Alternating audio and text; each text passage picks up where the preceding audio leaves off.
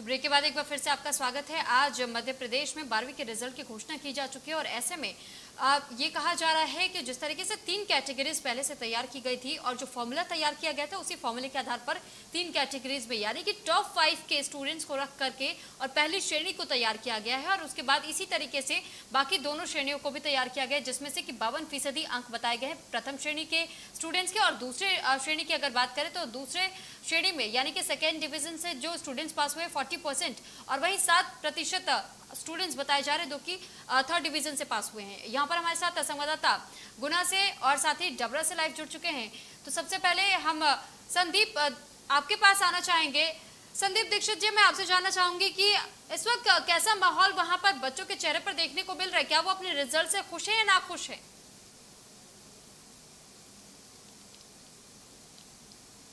Covid के बाद में देखा गया कि पहली बार ऐसा देखने को आया मध्य प्रदेश में किस तरीके से रिज़ल्ट आ रहे हैं। बच्चे कोविड में कई बच्चे बीमार हो गए थे उनके घरों पर बीमारी का माहौल था लेकिन इसके बाद भी शासन ने ऐसी व्यवस्था की उनके रिज़ल्ट दिए जा रहे हैं। गुना की अगर हम बात करें तो गुना में इक्यावन हायर सेकेंडरी स्कूल हैं उसके साथ ही 48 प्राइवेट हायर सेकेंडरी स्कूल हैं। इन सारे हायर सेकेंडरी स्कूलों में आठ रेगुलर छात्र हैं और दो बयालीस प्राइवेट छात्र हैं। आज छात्रों में बड़ी ही खुशी देखी जा रही है पास तो सबको होना है लेकिन ये देखना है कि कौन किस बच्चे को क्या परसेंट मिलती है। अधिक जानकारी के लिए हमारे साथ में एक्सलेंस स्कूल के प्राचार्य आसिफ खान सर हैं। हम इनसे जानना चाहेंगे कि बच्चों में किस तरीके का उत्साह है और क्या पढ़ाई के प्रति अब रुझान है। इससे थोड़ा बताइए।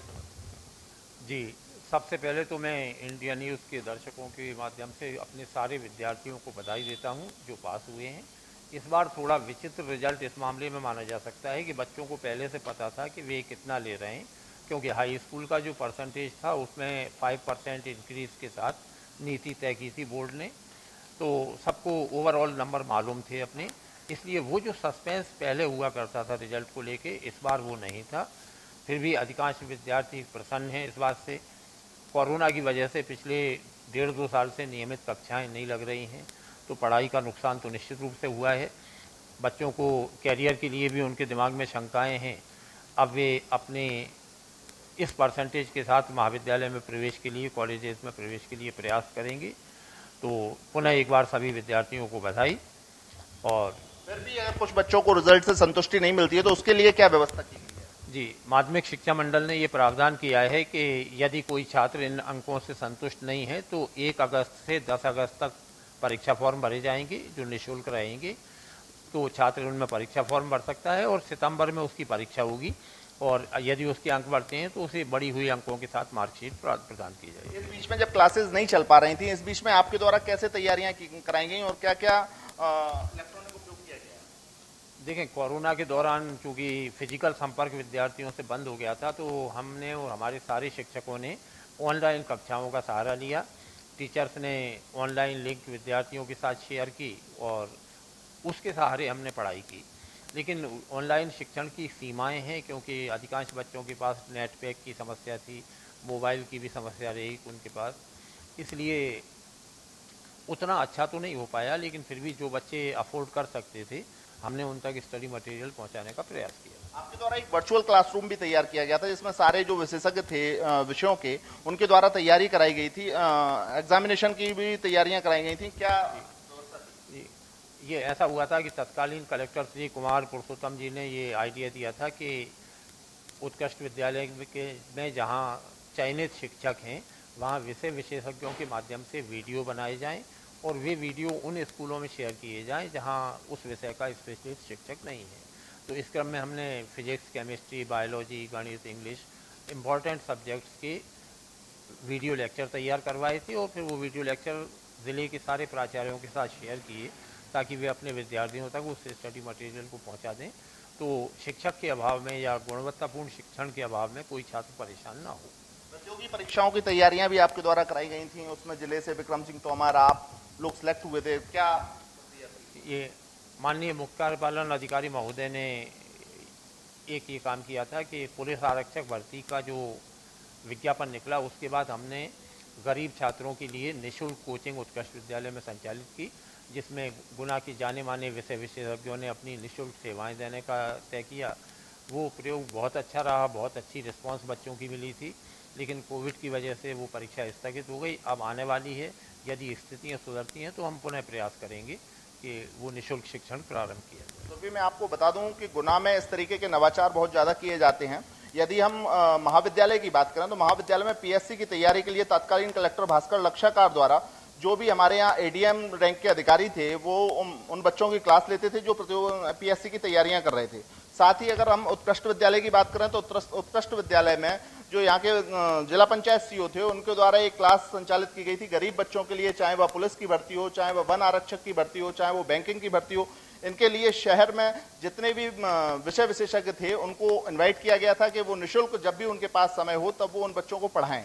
तो उससे काफ़ी कुछ बच्चों में उनके रिज़ल्ट में इंप्रूवमेंट ठीक संदीप आप बने रहिए आपके पास लौटेंगे। हमारे साथ डबरा से लाइव बने हुए हैं अजय गौर भी। अजय आपसे जानकारी चाहेंगे कि वहाँ पर इस वक्त बच्चे क्या खुश है अपने रिज़ल्ट को लेकर के या फिर नाखुश नज़र आ रहे हैं? क्योंकि ऑनलाइन क्लासेस के दौर में सबने देखा कि किस तरीके से बच्चों को काफ़ी सारी दिक्कतें परेशानियाँ आ रही थी। तो रिज़ल्ट से खुश है या नहीं? देखिए बिल्कुल बता देना चाहता हूँ यहाँ पर अगर बच्चों की बात करें तो बच्चों में काफ़ी उत्सुकता थी, क्योंकि जिस तरह से जो रेंट आना था, पूरा काल चल रहा था, जिस तरह जिस तरह से उन्होंने ऑनलाइन पढ़ाई की तो उनके अंदर भी काफ़ी उत्सुकता थी कि जल्द से जल्द उनका रेंट आए और उनको आगे उनके भविष्य का आगे पता चल सके। हमारे साथ कुछ हमारे साथ बच्चे भी हैं, हम उनसे बात करना चाहते हैं। आखिर इस पूर्ण काल में जिस तरह से आप, उन्होंने जिस तरह से ऑनलाइन पढ़ाई की, उसमें क्या क्या उनको कठिनाई कठिनाई हुई है क्या क्या परेशानी उनको आई आई हम बात करते हैं उनसे। क्या नाम है आपका? भावना जिस तरह से आपने इंटर की पढ़ाई की है तो, तो इस दौरान आपने ऑनलाइन जो पढ़ाई की किस किस तरह की जो आपको परेशानी रही है आपका क्या मेरे पास तो पहले मोबाइल था तो पढ़ाई नहीं कर पाई। और ऑनलाइन क्लास नहीं ले पाई। स्कूल में भी कोई क्लास नहीं थी तो मैं कुछ पढ़ाई कर नहीं पाई है।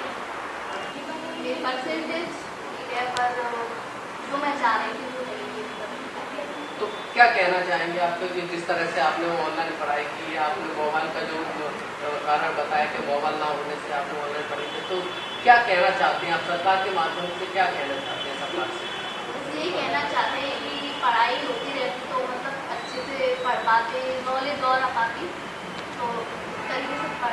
जिस तरह से आप जो पहले क्लास चलती थी पहले कोचिंग जाते थे उसमें और अपने आप को क्या परिवर्तन परिवर्तन ये है कि पढ़ाई सही से हो हमारे लिए मतलब अभी कुछ नॉलेज भी नहीं है हमने ट्वेल्थ में पढ़ाई ढंग से की नहीं है तो आगे चल के क्या पता?